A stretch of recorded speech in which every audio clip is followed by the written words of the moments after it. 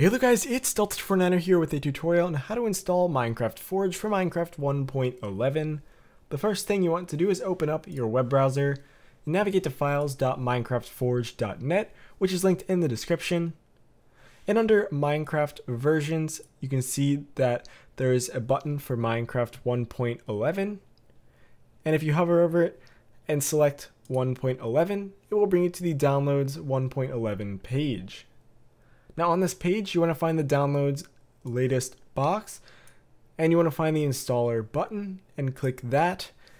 And this will bring you to an ad focused page. Wait the six seconds for the skip button to appear in the top right and click skip and save the file on your desktop. Now you can go ahead and navigate to your desktop and you want to right click the Minecraft Forge installer, select open with, and click Java Platform SE Binary. Make sure the Install Client Radio button is selected. If you'd like to allow the developers to collect some statistics about your Minecraft client, you can leave this on if you don't mind. I'm going to uncheck it, but it's totally up to you. And then you can click OK. It will download all of the libraries that Minecraft Forge needs. And then once it says successfully installed, click OK, and open up your Minecraft launcher. Select the Forge profile from the Profile drop-down menu and click Play. Once it loads up, you can see it says Powered by Forge. You also have a new Mods menu.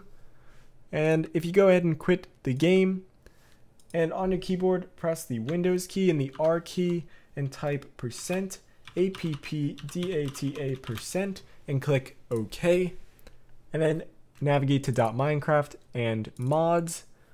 This is where you would put all of your Minecraft 1.11 mods uh, to use with Minecraft Forge. Now do make sure that they're compatible with Minecraft 1.11 and that you don't have any other mods for other versions in this folder uh, because that will conflict and it uh, will most likely crash uh, your Minecraft when you try to load it up. So just make sure you only have Minecraft 1.11 mods in this folder. That is it for this tutorial. If you did find this helpful, a like and a share would be greatly appreciated. If you're not already subscribed, make sure to do so for more gaming tutorials and reviews. And in the end slate here, you can see that there is another video uh, that you may want to watch from me if you're interested. And if you're not following me on Twitter or any of my other social profiles, links to those are in the description below where you can follow me for updates and interesting tidbits from the internet. Thanks for watching and have a good one.